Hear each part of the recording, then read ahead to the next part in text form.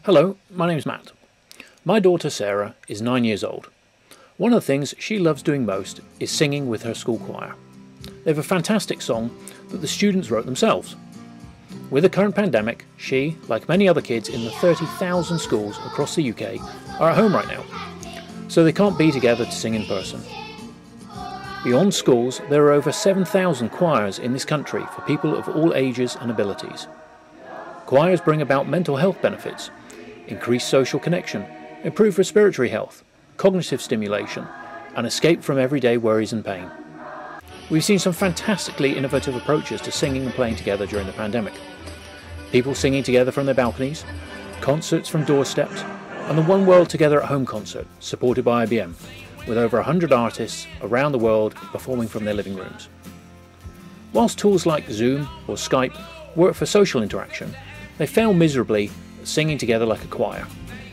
We spoke to a choir director on her experiences. I to them and said, "This is going to be an experiment." it was hilarious.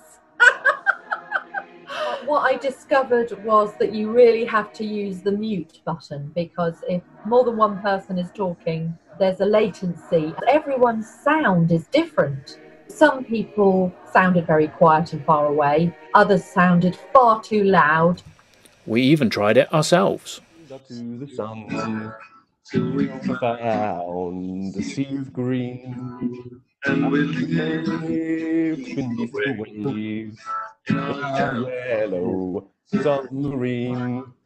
These problems are fixable, but the skills and software needed to edit video are beyond the reach of most people. Choirless is an online platform that allows singers and musicians to record their contributions in isolation while still feeling a part of the community. It works like this.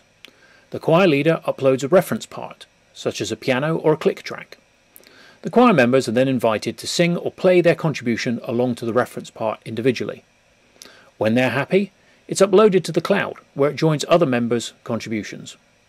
Using the power of IBM Watson, Choirless automatically mixes and assembles the individual parts. The final result can then be published as a video wall, shared with choir members and beyond. Where I was born. If the man sailed to sea, and he told us of his life in the land of submarines. So we sailed up to the sun till we found a sea of green. Choirless brings people together even when they're not together. In a yellow